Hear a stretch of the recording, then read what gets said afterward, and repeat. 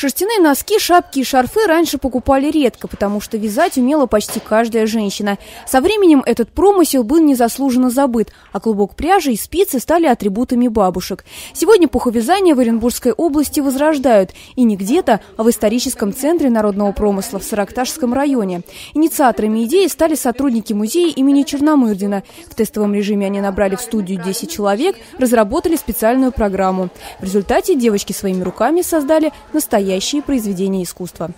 У всех платок разный, каждый выбирали свой узор, своя, у каждого своя каемка, у каждого своя обвязка. Ни один платок у нас получился не похожий на другой, потому что они выбирали то, что им нравилось.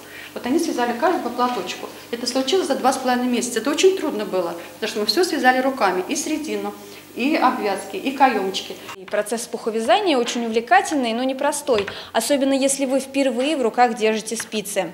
Чтобы связать средний платок с самым простым узором, вам потребуется в среднем 4 месяца а также ваше внимание, терпение и усидчивость. Впечатляет, когда за этим занятием видишь совсем юных школьниц. Настя Лой учится в седьмом классе. В прошлом году на эти курсы ее привел интерес к забытому промыслу.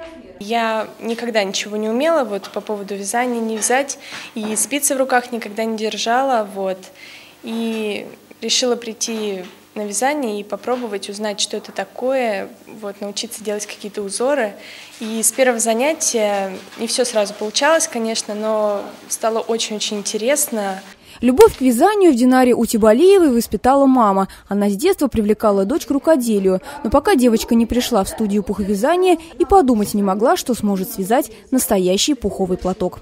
Сложнее всего было делать кайму, зубчики, и вязать серединку, потому что очень долго и трудно.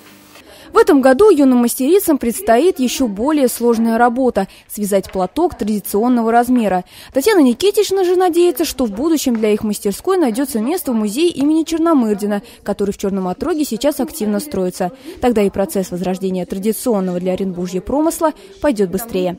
Алена Блеч, Георгий Бурлуцкий. Новости дня.